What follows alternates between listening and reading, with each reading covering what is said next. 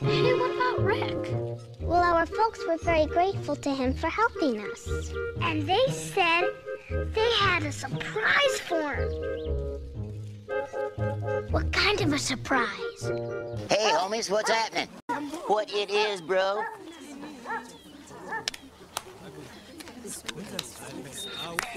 kwenziwa njani lokhu unqanyela imilenze noma masimphiliseni ikhanda usho kanjalo uh, shibop, shibop, doo wop, doo wop, whang dang, shamalama ding dong.